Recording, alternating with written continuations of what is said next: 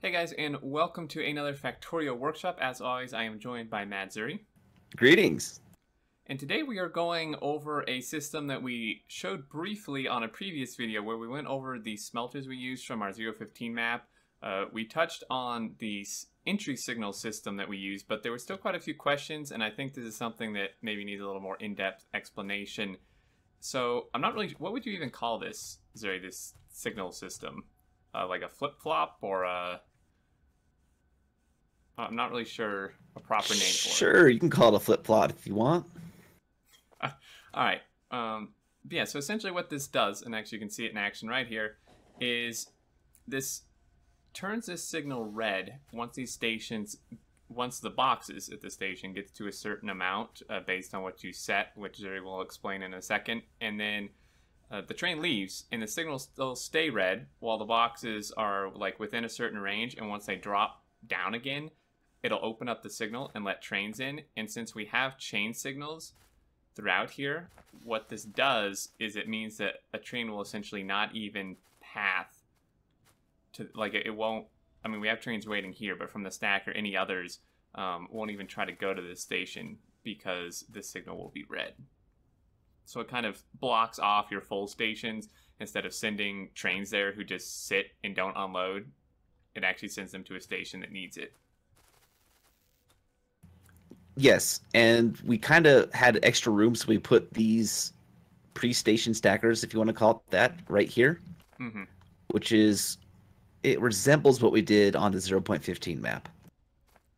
But this isn't a bad idea actually to to include these, and we kind of accidentally included them, but they it's fine. Yeah. All right, so let's go up to the top one.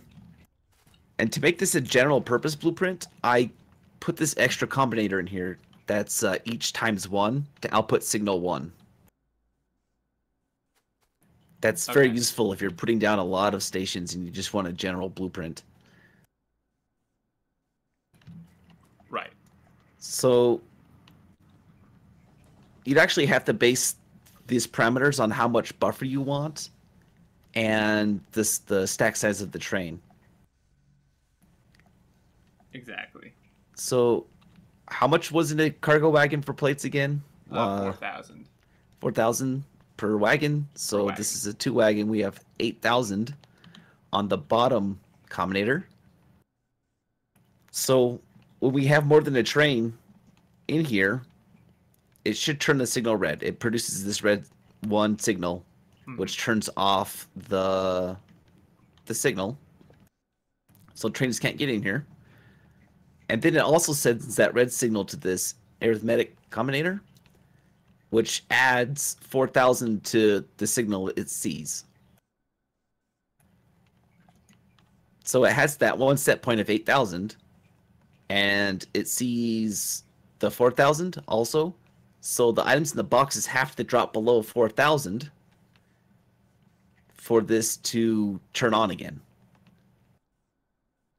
So it's got a set reset or uh, a latch and release or whatever you want to call it. There's lots of names for this sort of thing, and I can't remember the exact technical one. So the the set point's the bottom one, and then the gap or the delta is the top one. We have it set to to stop trains from coming in when it hits eight thousand, and to let them back in when it hits four thousand.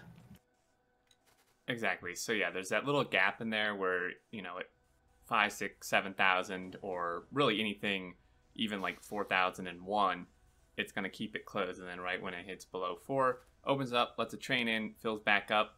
Um, you know, however much that the train empties uh, once it's eight, closes signal, and uh, there you go. So obviously, as Zuri said, you would uh, you would just change these two combinators to your system specifically, right? So if you had like two four twos in your unloading plate, this would obviously increase because you have four cargo wagons. So it would be like uh, 16,000 is your max rather than eight.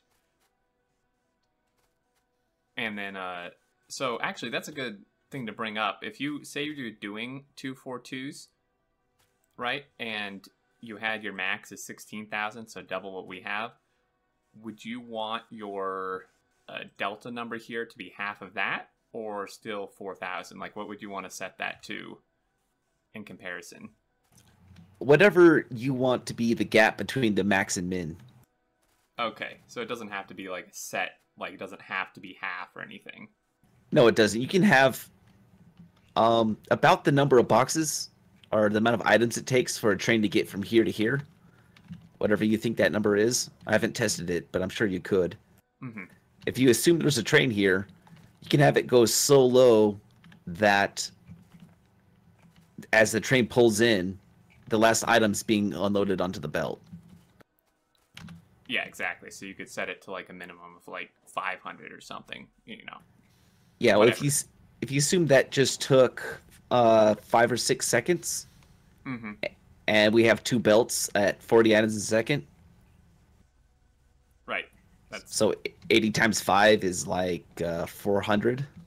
Yeah.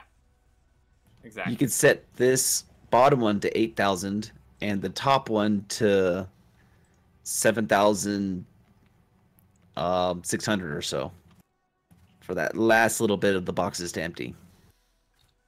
Yeah, exactly. So you can change this to, to what you want. Just uh, we, you know, you probably want your uh, max number to be equal to a full train worth at least. So uh, yeah, really, you just wire up your boxes, hook them in as we show. We will include a blueprint um, for just the well, well, I guess the unload. We'll just include it for like the unload box thing, not the belt part, and then the combinators and signal. And then it's a general purpose blueprint. And if you want to expand it, you could just uh, add like to the left and hook all those up, and you should still be good to go. Yeah, hopefully we'll remember to remove the boxes. The yeah, the cheaty ones. Yeah, we'll get the rid of cheaty those. boxes. But uh, but yeah, so there you go. That's it's pretty much it. It's straightforward once you kind of get a look at it and understand, and it's really good um, to like maximize your train efficiency. Again, like I said, because then you're not sending full trains to a station that's already full. Um, you're making sure that they go somewhere that is actually uh, needing uh, or whatever you may be unloading.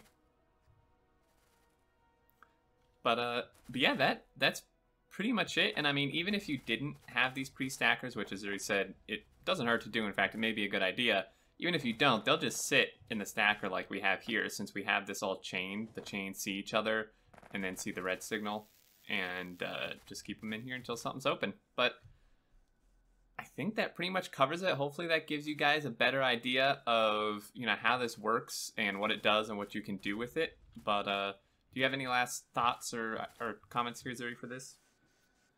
I think we did some of the signals wrong, but it seems to be working just fine, so never mind. okay, well, the, the at least the entrance part here is signaled correctly. That's the main thing. Yeah, the the part with the connected to the combinators is right, and that's the part we're including in the blueprint.